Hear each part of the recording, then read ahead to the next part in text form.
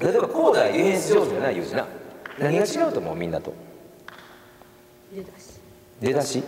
一歩目がパンでそのこともあるんやけどまずあの何がコーチらから見たら何ができてるかっていうとちょっとここっちで言うとちょっとここ上げて。いつも言うけどあのどうしようかな。あケケイナ来て。ケイナディフェンスしてでここでな例えば真ん中よりここでこう持たれたオフェンスがボール持ったとしたらどどどっちに生かすように抑えてる？あっち？うん。で要はここをこう抜かれないようにな。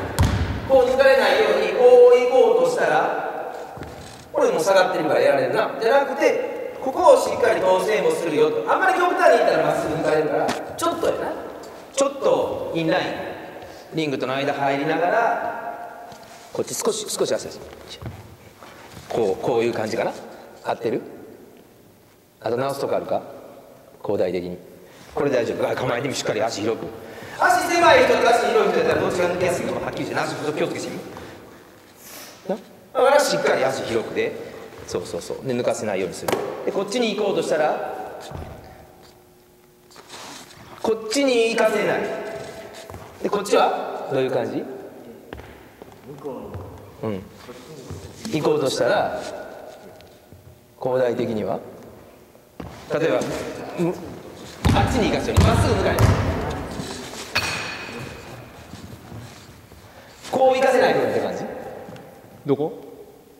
中中をやこうこういうふうにこういうふうにやられないようにな。そういうことだな。言ったらゾーンの中に入れないぐらいの感じ？ゾーンの中には入れさせないように入れさせない入れさせないようについてみる。こういう感じだ合ってる？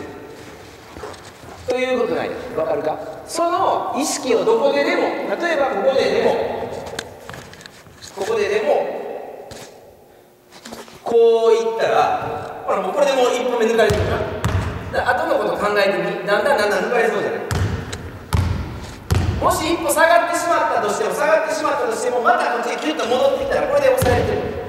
この意識がある人はディフェンス上手って言われる。そうでない人はついていってんねんけどそうだな。ついていってんねんけどこうなってたらやられてるわかる？だからコーチの言い方で言うといろんな言い方があるんだけどこうちょうどフリースローの線があるからこのフリースローの線よりケイナここから攻めるからそう。このフリースローの線を俺がこう割ってしまわないように割ったとしてもこうついてわかるできたらほんまはこの手前ですうわ痛いねんっていうふうに外へ回してしまうそういう意識でもしこっち側やったらこっち側やったらこの高いこのこの線から中へ割られるそういうつもりでしっかり足運んでついていく分かったちょっとその意識意識まず頭でしっかりどういうふうにやどういうふうに持っていくんだっていう意識を持って練習せなあかん。今からちょっと練習するのは練習からもらって角っこで1箇所2箇所3箇所4箇所で練習するんだけどもらってギボッとしていったりするんでこっちこうなったら負けならないように最初の今日はファウルしてでもいいから遅れたら遅れたらファウルしてでもいいからファウルしてでもいいからそうそうそう一歩でも押し出すっていう練習分かった当然オフェンスも一歩抑えられれば逆に逆もしっかり続けるっていう形でちょっとしばらく一対一オフェンスはフリーでいって練習やりましょう。分かった。でこっちやったらそっちそっちも5人ずつぐらい5人ずつぐらい並んだらいけると思うんで大体同じ正ぐらいにして集まってこっちオフェンスやってディフェンスやったら次向こうに並んで左もできるわね。両方練習。分かった。はいイエーイ